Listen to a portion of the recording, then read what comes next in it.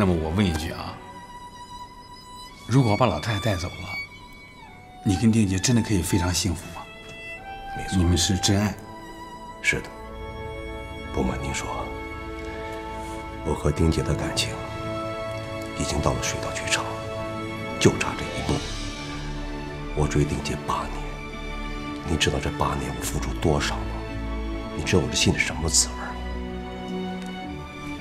现在老太太夹在当中，我真的是特别难受。我真的不希望因为老人家这点事情，把我八年的辛苦都白费了。兄弟，不说了，把钱收回去。你听我说啊，既然说到这儿了，你追求丁姐八年，你不但对丁姐关爱，包括我的两个孩子，还有我老娘，你都给他们无微不至的关心。冲这个，让我帮你一次好不好？我该帮你一次，我一定诚心诚意的成全你们俩，相信我，好不好？为我老娘，为我两个孩子，谢谢。来，有您这句话，我心里放心了。感谢您，干了。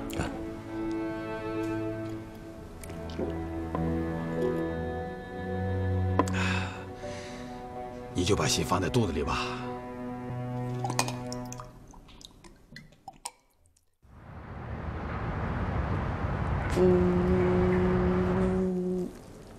呼呼啊！哎，小布啊，嘿嘿，快来看看，快来看看！你这干嘛呢？这是？嘿我刮胡子呢，好玩吧？咦，来来来，晒吧晒吧！哎，你别弄，拿过来。怎么了？不，我没弄完呢。谁让你用这些东西的？不是我就用一下，怎么了？用什么用啊？你嘴上没毛，你用什么用啊？虽然少了几根，但我刮起来特帅。我告诉你，这是私人用品，知道吗？不能随便乱用，就像牙刷一样。我的牙刷你想用吗？想不想？我就用一下嘛，那么小气。这孩子老大不小了，说话怎么没大没小的呢？这是小气的问题吗？这是素质问题，知不知道啊？赶紧洗了。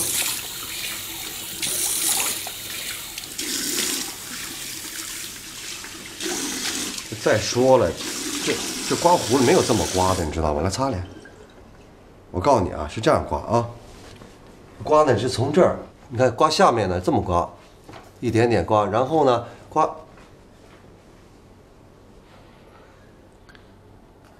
哎呀，这孩子太没有规矩了。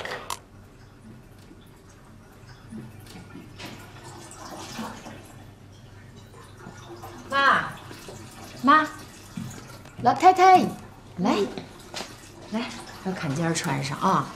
冬天冷了，来低点低点，来这样这样这样。嗯，如果再冷呢，要出门穿羽绒服，记住了啊。嗯嗯，要下大雪、刮大风，还要戴帽子。嗯，还有呢？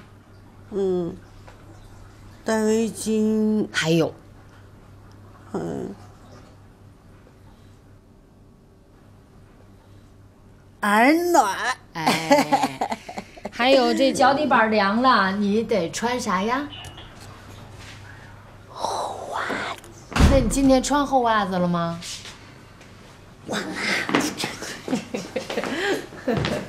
哎，我是不是来晚了？好，没事儿，跟我妈聊天呢。哦哦哦今天冷吧？哦，还行。哎，我跟你说一下啊，那个昨天见到司徒了，他挺后悔的，怕你不理他了，想求得你的原谅。我有那么小气吗？又不是小姑娘了。那就好，我和他呢也都说开了，哎，挺好，哎，这老太太由我来带，这给你解放出来。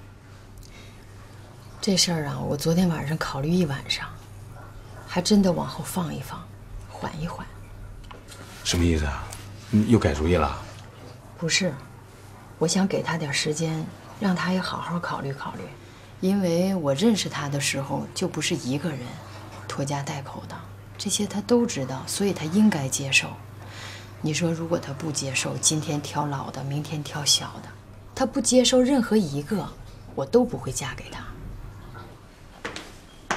家宝啊，刚才叔叔说话有点语气重，别往心里去了。没什么的。我是要说什么呢？啊，你过去的生活环境和生活方式呢，可能会啊，我是说可能会造成我们之间有一些小小的矛盾。嗯，叔叔想要跟你说的就是，以后我的所有的生活用品，包括毛巾、茶杯子，包括剃须刀之类的，最好不要动，行吗？哦，我知道了。这样，回头叔叔给你买一个电动剃须刀，行不行？嗯那个不用了，那个我先去上学了啊。哎，等等啊，早餐你吃了吗？没呢，一会儿我到学校买个鸡蛋饼就行。那怎么行啊？又不营养又不卫生的。嗯，没事儿，挺好吃的。你等等等，我给你做去，冰箱里什么都有啊。那个，嗯，不用了。坐着听话啊，我给你做饭吃，嗯好不好？吃完饭再走啊。啊，听话。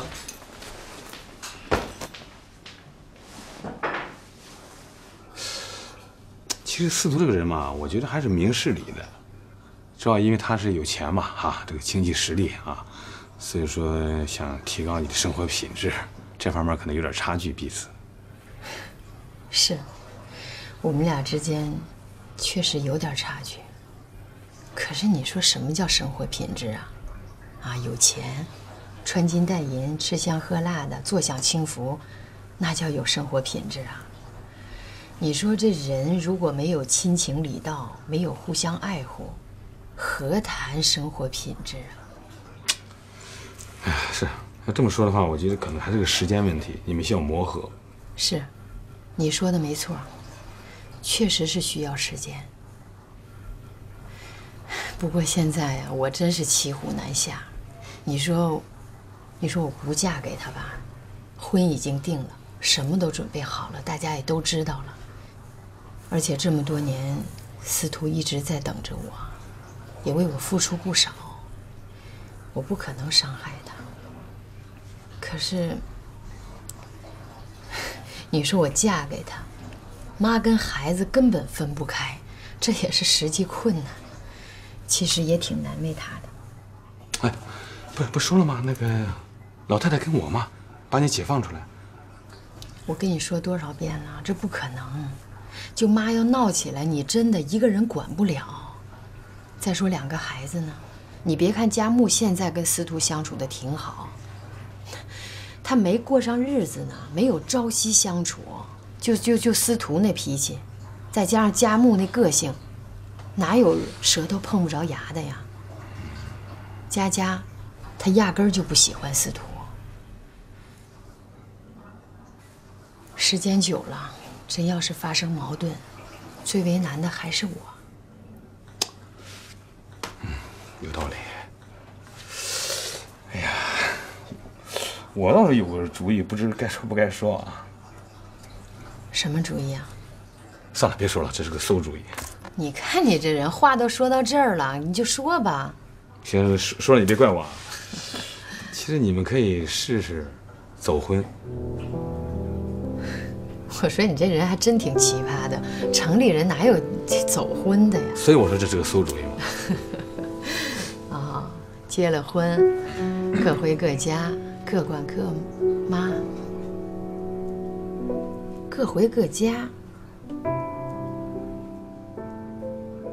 哎，你别说，这办法有可能能解决我的问题啊！什什么意思啊？你看挺适合我的呀。我要是跟司徒选择走婚的话，第一能解决婚姻问题，第二呢，妈跟孩子就不用搬到他那儿去住了，就不用给他添麻烦了呀。然后呢，妈跟孩子留在这个房子，你还能继续当小时工来照顾他们。最重要的，我还有独立性啊！别别，我只是信口开河哈，你就就别别当真，别当真，这不事没那么容易，真当没那么容真了易。。哎，宽子，我跟你说，我现在就找司徒好好商量商量。妈，你好好照顾啊。哎，别，我跟你讲啊，这司徒不同意，你你不硬坚持啊，我只是给你说说而已。我知道，知道，我就跟他探讨探讨啊。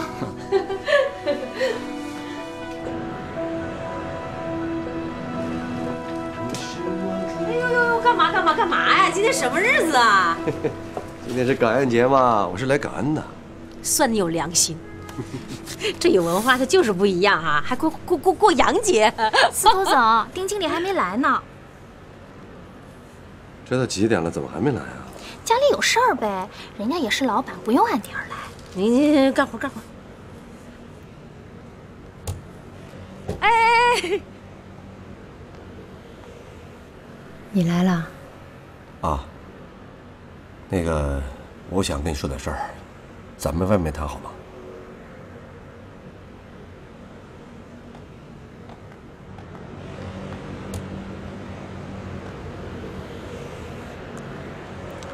姐，那个，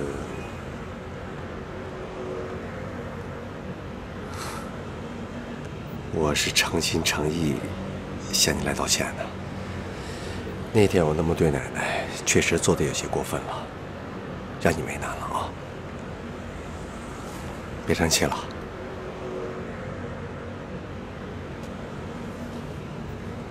好吗？啊，其实我已经不生气了，因为这件事情我也想清楚了，你有你的道理，毕竟你想娶的是我一个人，而不是一大家子。哎呀，看来我原来的想法就是那种理想状态的家庭，太幼稚了，应该道歉的是我。哎呀，你知道吗？你不生气了，我就阿弥陀佛了。哎，我跟你说件事啊，嗯，我呢给佳木啊今天好好上了一课，我让他变成一个小小的绅士，养成一个良好的习惯。他听了。听了，其实我就希望孩子能够考上理想的大学，我就谢天谢地了。你放心吧，佳木学习这块儿我会用心盯着的，啊。嗯，哎，你最近有没有发现，我正在努力的配合着你，柔和这个家庭，发现了没有？你说，咱们俩什么时候才可以名正言顺的住在一起啊？换个地方吧，咱俩好好说说这事儿。好嘞，走上车。你好，两位这边请。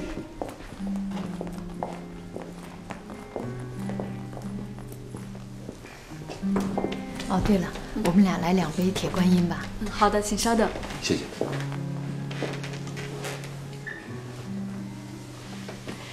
我想说说咱们俩，我想到了一个两全其美，不是三全其美的好办法。什么好办法呀？啊，还神秘兮兮的。嗯，你好，两位请用茶。好，谢谢。谢谢，不用客气。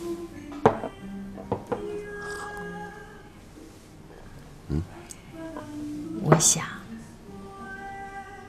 咱们俩能不能试试走婚啊？真的，我觉得这挺好的。你看啊，一个呢是解决了咱们俩登记结婚了，然后我白天可以上你那儿，晚上可以回到老屋，这样我又能照顾妈，又能照顾孩子，这不是三全其美的好办法吗？不是你什么意思啊？啊？白天在我这儿，晚上到他那儿。那你把我这当什么呀？当旅店？我跟你说，我都跟宽子说好了，对吧？让他照顾奶奶和孩子。你怎么又变卦了呢？哎呀我不是变卦了，是因为我妈一到晚上就找我，那李宽他也他肯定照顾不了她。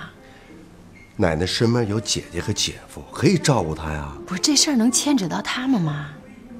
啊，那这事儿可以牵扯到我这儿是吧？啊，合着我只娶半个媳妇儿，啊，白天你回到他那儿，是不是？那什么意思啊？那知道的那以为你是照顾两头，那不知道的呢，那以为我这有什么问题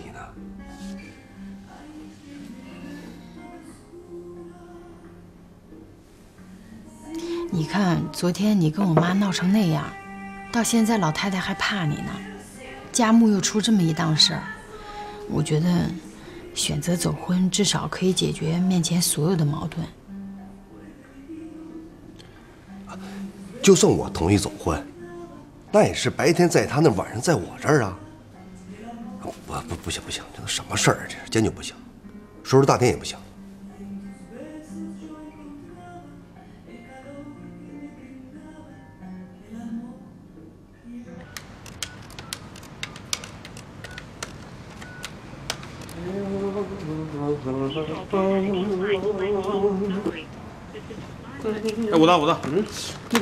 五奎啊，两个手机都关机了。他不是老出差吗？可能在飞机上吧。啊，那什么，我有他微信，你给他发个微信吧。好。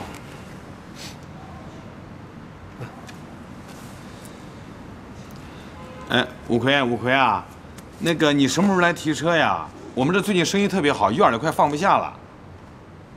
啊，再说你这三辆车也没什么毛病，让他赶紧提车啊。你抓紧时间来提车啊！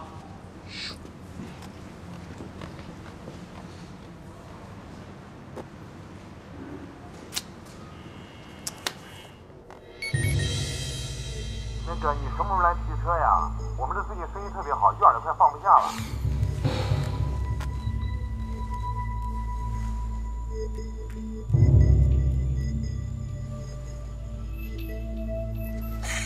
哎，宽哥。你就等我信儿吧啊，去了我就和你联系，行不行？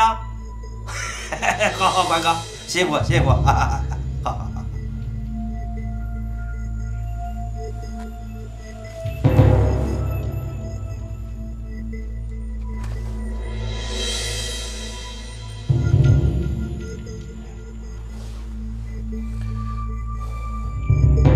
喂，队长。五魁换了那个女人的手机，与李宽通了电话，二人通话简单隐蔽。严密监控，等待时机。明白。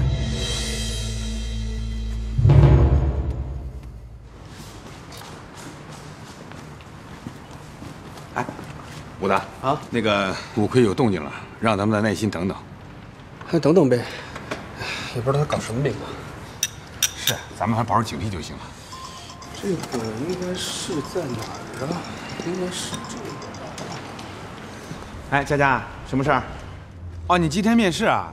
在哪儿？哦，在宾馆哈。好的，好的，我马上过去啊，别着急，别紧张。哎，吴子，嗯，佳佳今天面试，我去过去给他把把关。行，去吧。好好好。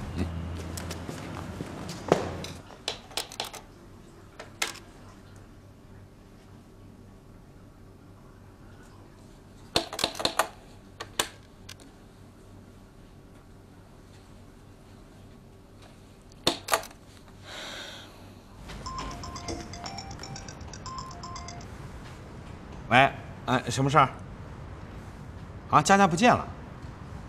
哎，丁姐，你别着急，我知她在哪儿，好吧？我我负责找她啊。好好，我也下班了，好，我马上找她去啊。哎，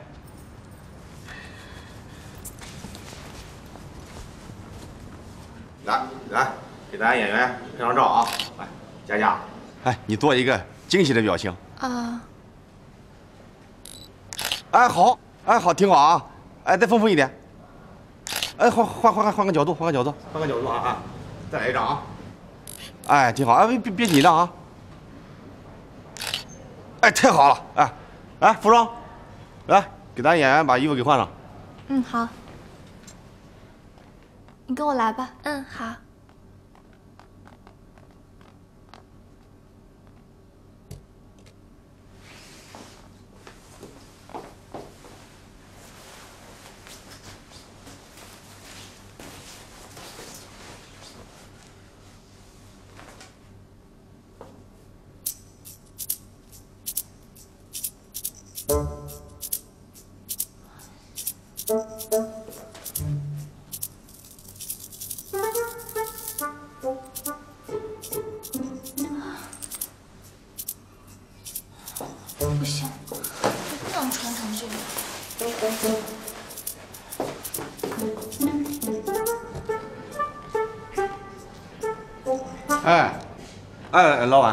是什么时候了？连个演员都搞不定，咱这戏还拍不拍？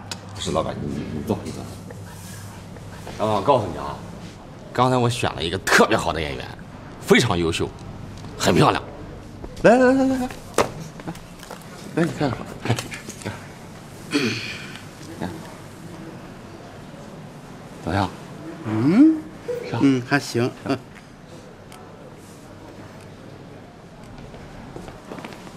哎，佳佳，哎，这就是咱们的演员。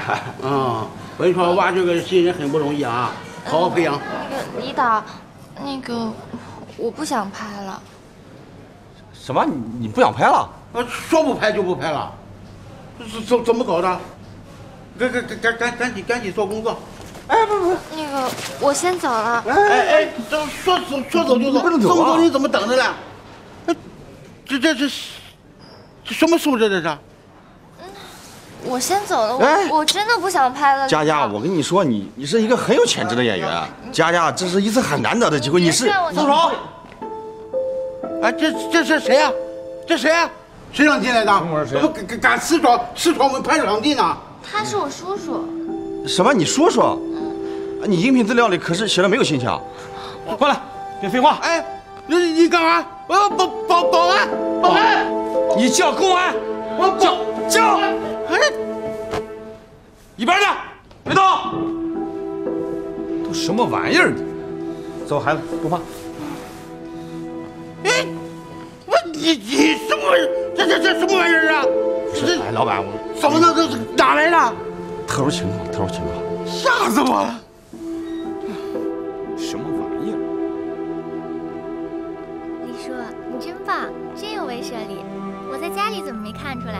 哎呦，那在家里在家里，在外边那为了保护你嘛，偶尔我得给他们厉害一点，是吧？佳佳，以后可可别来这种地方了啊！上次我跟你说过嘛，你你还小，不是时候。以后不管什么微电影啊，什么什么试镜头啊，什么拍电视剧什么的，你都不去。等你将来高考毕业，考上一个院校，好吗？再参加啊！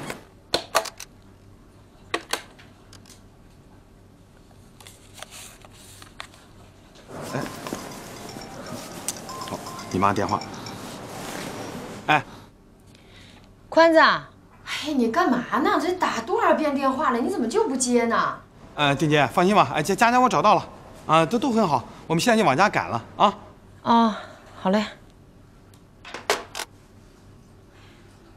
那个李叔，今天的事儿你别跟我妈说行吗？我不想让她担心。好，我给你保密，行吗？但你也答应李叔一件事，好吧？以后不管遇到什么事情啊，包括这方面的和其他一些事情，一定要第一时间给我们大人说，哎，千万不能瞒妈妈了，好吗？好。嗯，好孩子，走吧。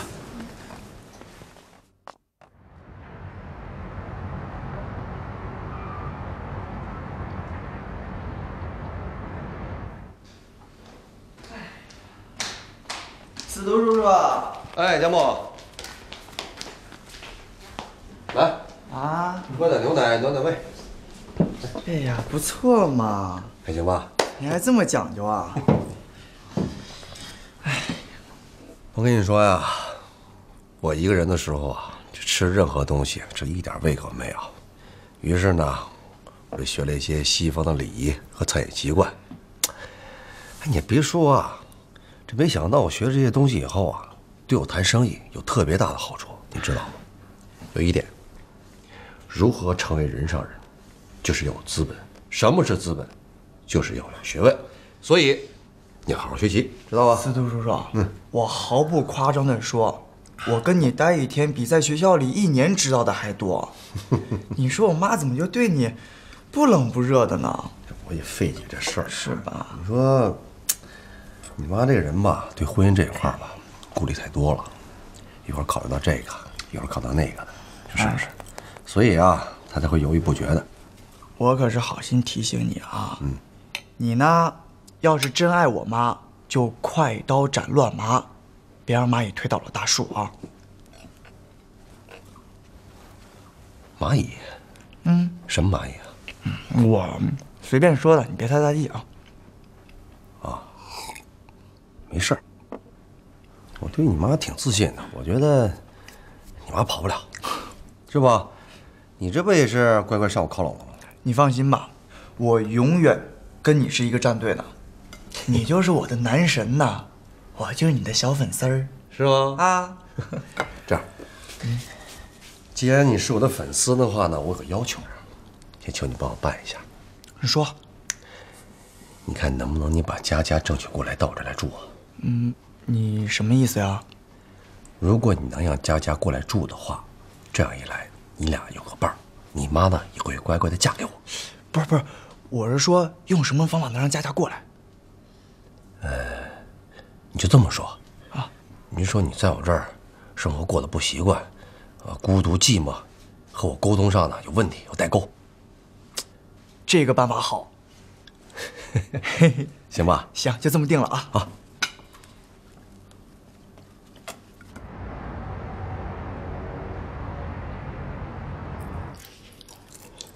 佳佳，嗯，待会儿呢，妈带着奶奶去店里，你到司徒叔叔家里，叫上你哥一块儿上学去啊。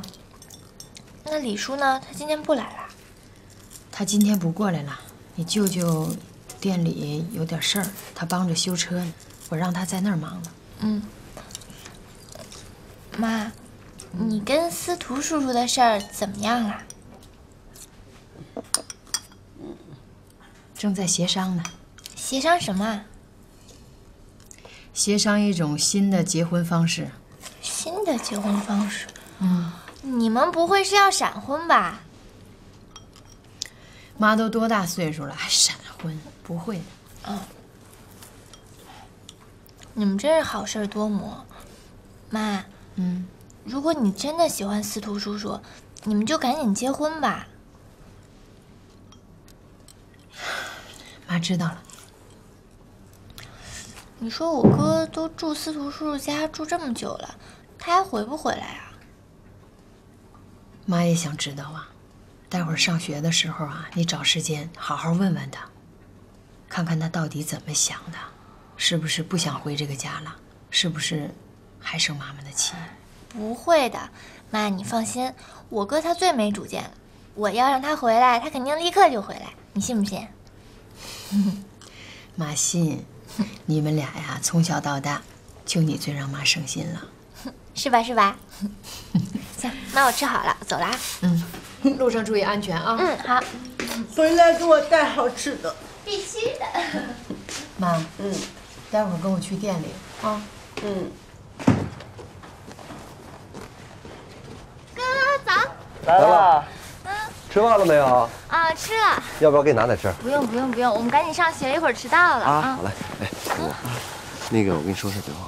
放心吧。说什么小秘密呢？啥也没说，去上学吧。走了。等我好消息啊。好嘞。拜拜，叔叔。啊，走了。今天天气好晴朗，处处好风光。哎，丁姐，那什么，那个下午有空吗？到我办公室来一下，跟你谈谈事儿。行，我安排好奶奶就来。哎，好嘞啊，哎。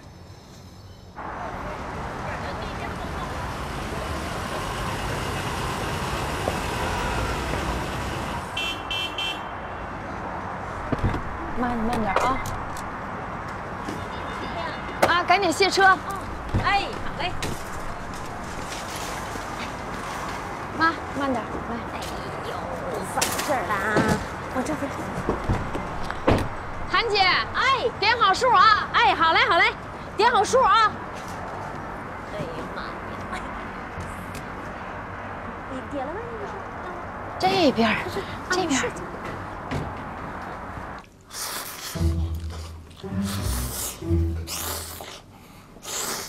你总是关着手机，怎么和人家做生意啊？钱要挣，对吧？但是不能为了钱出事。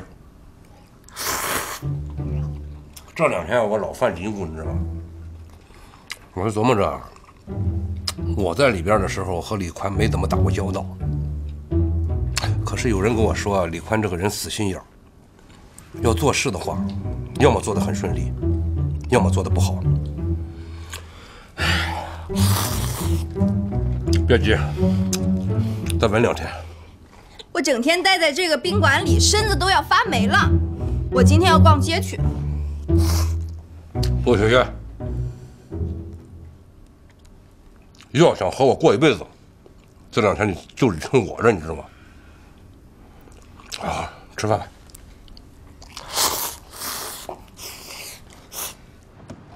鹏哥五魁那边有消息了吗？是不是出啥事了这个我我我真的还不不不太清楚。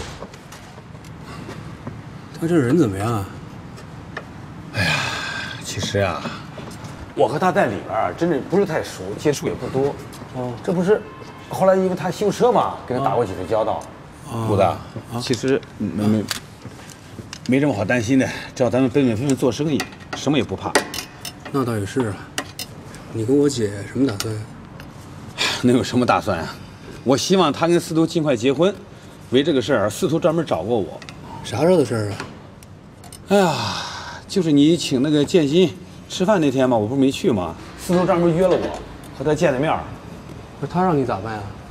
不，这人挺搞笑哎，让你帮忙，他把你当啥人了？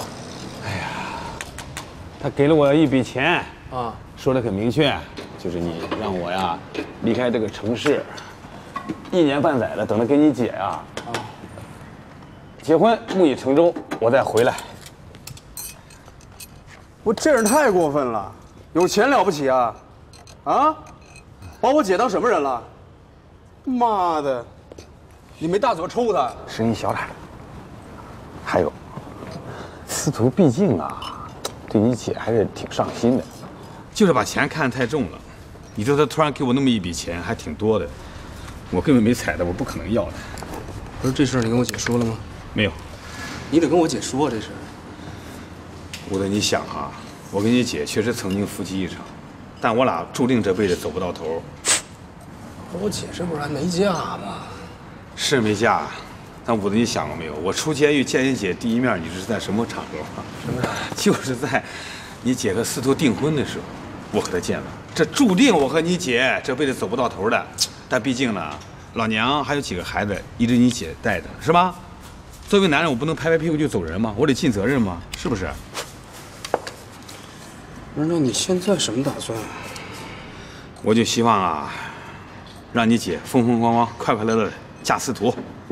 至于我呢，也再也不以小时工的名义了，不在那装了，就给孩子坦诚坦白，曾经进去过，蹲过监狱，不管孩子能理解不能理解，原谅不原谅，我都一如既往的爱他们，还有我亲爱的老娘，让他们幸福快乐。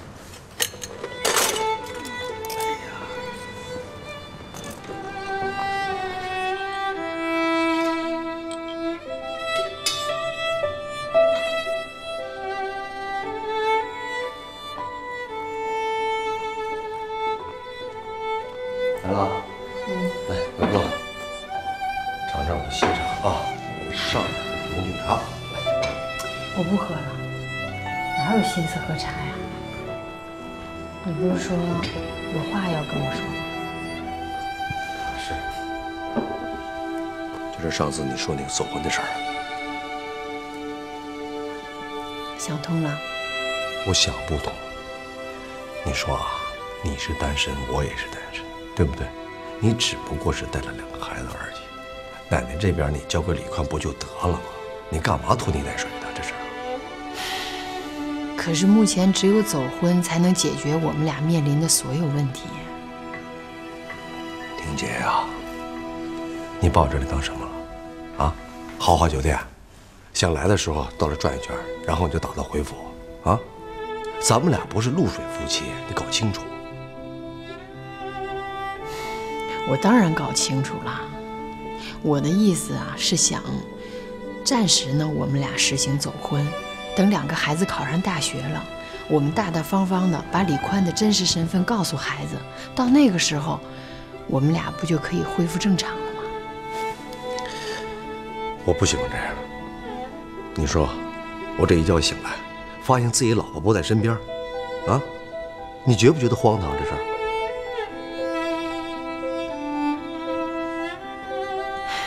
那你说怎么办呢？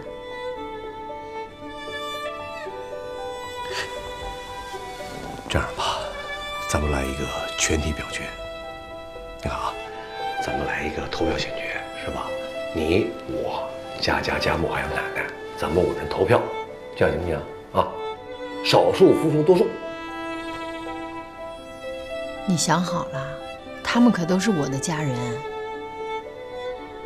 那我也没别的办法了，只能用这个办法。行吗？当然行，不过咱们把丑话说到前头。嗯。不管是什么结果，不许反悔。我绝不反悔，跟你说。一言既出，驷马难追。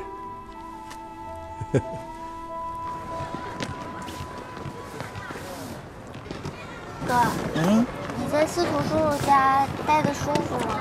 佳佳，哥毫不夸张的说，超级舒服。有人做饭，有人聊天，房子又大，家具又新，收获多多。那你干脆给他当儿子去算了。哎呀，我本来就可以算上他儿子啊。等他和咱妈把婚事一办，你就是他女儿了。我才不稀罕当谁的女儿。佳佳，你就是只吃过猪肉，没见过猪跑。哥现在正式动员你，真应该一起搬过来住。我保证，你住进去就不想出来了，让你流连忘返。又不是风景区，你还流连忘返，词儿都用错了，没文化真可怕。是是是，哥是词儿用错了，可是词儿错理不错呀，真的，搬过来住吧。为什么？我干嘛听你的？是，因为你是我的亲妹妹呀，哥要带你一起去分享美好的生活呀。其实说句实话，我一个人住在那儿。真的是挺无聊、挺闷的，挺没意思的，是吧？你还知道没意思呀？你知道吗？昨天晚上奶奶一直念叨你，妈就只能说你被司徒叔叔抢走了。奶奶还直嚷着要把你抢回来呢。不是，那不还是因为奶奶旧守陈规吗？佳佳，其实我这么做并不是完全为了自己，我也是为了给妈一个促进。你想想呀，她跟司徒叔叔光谈恋爱都谈了这么多年了，光说办结婚证都多少回了，我耳朵都快起茧子了。那你是什么意思呀？你想呀，咱们家一共四口人，如果有两口人都住进新房子了，妈还不跟司徒叔叔结婚吗？时间长了，邻居们该怎么想？该怎么说咱妈呀？可是你想过没有，咱们是住进新房子里了，妈会怎么想？你这不是逼婚吗？妈是为整个家考虑，你就考虑自己合适。不是，这小丫头怎么油盐不进呢？那你的意思是，你就不搬过来住了呗？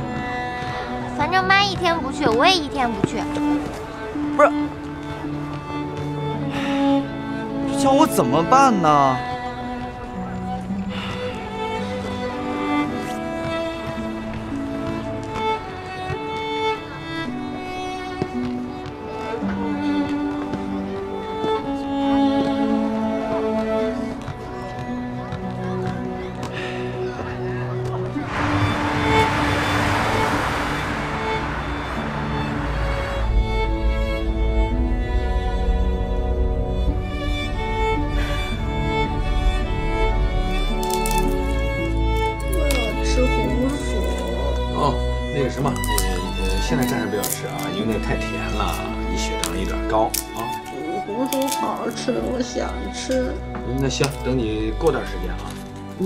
就吃一点点，好吧？行，回头给弄一点点，好吧？嗯，但是不能多吃啊。嗯嗯嗯嗯回来了。啊。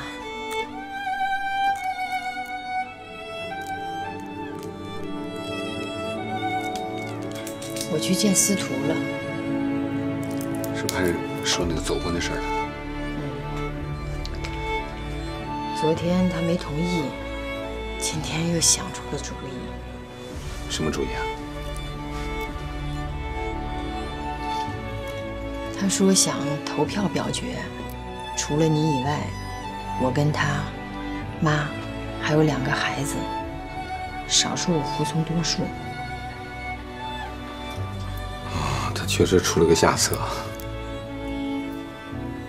不过我觉得情况还是还是对你有利啊！你看，就算佳木投给他了吧，老太太和佳佳肯定投给你啊。可是妈说不准啊，万一他犯起糊涂来，把票投给他呢？哦，也是啊。